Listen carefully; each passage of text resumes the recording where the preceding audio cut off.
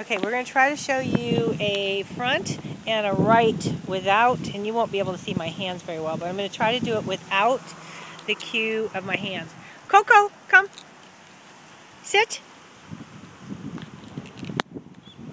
So I'm going to get her in lined up with me a little bit better. I don't know if you can see that at all.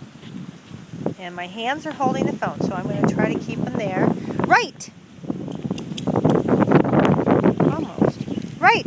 Help her just a little bit. I don't even have food in my hand, but I brought her. She went to the right side, which is perfect. Can't see her.